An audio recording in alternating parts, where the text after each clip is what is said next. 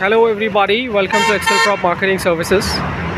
Well, uh, today we'll be exploring Bhartiya City, one of the best projects in north part of Bangalore, 125 acre township project. A city within a city. So this is the approach road for the project. So let's go inside. We have entered the society now. Left hand side we have uh, the IT zone of Bhartiya Nikoo Homes and then right hand side we have Nikoo 2 and Nikoo 4. Nikoo 2 is ready for, ready to move in uh, whereas Nikoo 4 is uh, still under construction. Uh, developments are happening. Uh, Nikoo 4 is completely sold out. They left with one 2 BHK and one 4 BHK uh, unit. So if you are interested, uh, reach out to us for further details. And now we are towards the other side. So this is Leela Residences, mall and other things that we'll be looking at now. So just park my vehicle. I'm, I'm just, I'll show you right we'll be looking out the few things of Bharti Nikoo Homes. Why uh, Bharti Nikoo Homes is a unique project in an entire North Bangalore location uh, as a township project. So now we are close to a marketing office. This is the sales office at present. Uh, the, uh, most probably uh, we will be, I mean, expecting good news from builder side. Good news in the sense people who are waiting for the new phase of Bharti Nikoo Homes, phase 5.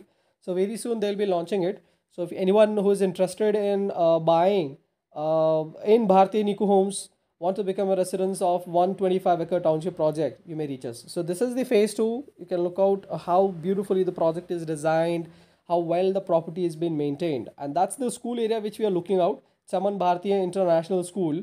Uh, we also have the mall that we'll be looking out in the same uh, video. So let's uh, go and look at the mall and the residential zone, other things.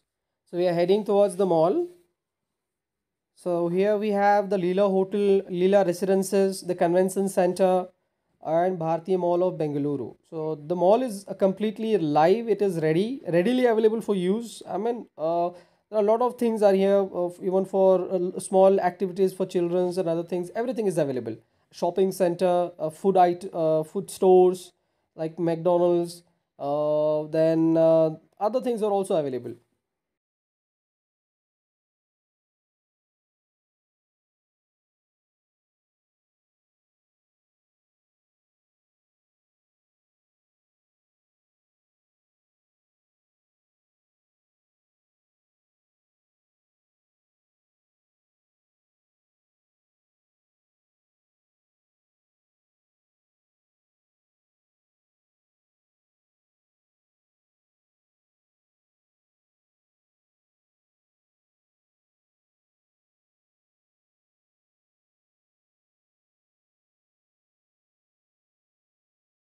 These are the few outdoor uh, amenities in uh, mall inside the i mean uh, yeah outside the mall you can say basically for uh, children's.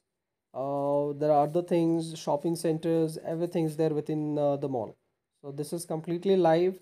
If in case anybody interested you can you may visit the mall and experience this entire 125 acre township project. Apart from that they have 8 acre exclusive park open park for public which is exactly right opposite to uh, in between the IT zone and as well as the mall or the Leela Hotel. About eight acres or above that, they have given the land for of on amenities. I mean, it's like an open amenities amphitheater and other things. So we have Nikoo one. Uh, this we are looking out Nikoo one. So we are. I mean, I'm not uh, from this side. The complete Nikoo one is not properly visible. So they have about ten towers. So I'm uh, just showing it to you from this side right? You may reach us for further details. Thank you so much. Stay safe, everybody.